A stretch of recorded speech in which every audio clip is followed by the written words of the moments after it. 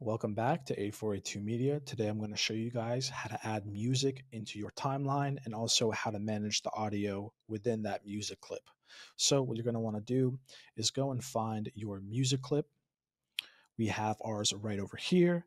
And there's also this thing called audio scrubbing that when you move through the clip without selecting it, you could actually hear the contents of what's inside that clip just by pressing Shift S But for the sake of the video, we're going to keep audio scrubbing off. I'm going to press Shift S again. And now we're going to double click this clip so that it opens up into the source viewer.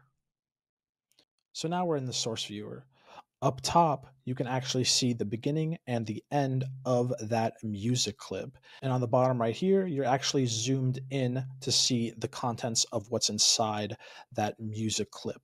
For the sake of simplicity, we're going to use the whole audio clip. So we're going to click drag and drop into the timeline viewer. So instead of just dragging and dropping it in the middle, we're actually going to drag and drop it to place on top. So we do that.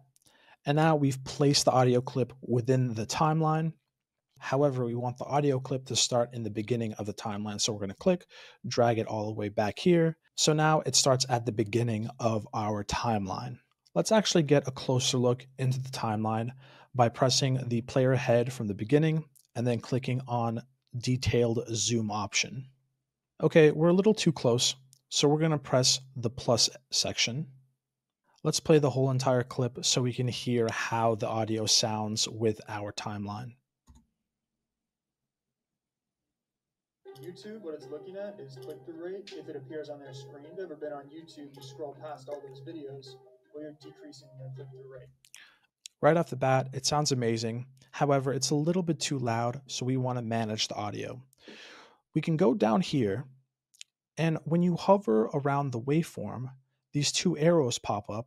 You can click and hold, and now you can increase the volume by moving up, or you can decrease it by moving down. So we're going to decrease it around by negative 2, leave it there, and play the timeline over again. YouTube, what it's looking at is click-through rate if it appears on their screen. If you've ever been on YouTube, you scroll past all those videos well, you're decreasing your click-through rate. So that's how you manage audio within the timeline. Also, if you want to manage the size of video one, audio one, and audio two, you can actually hold shift and scroll up or down to manage the size of that.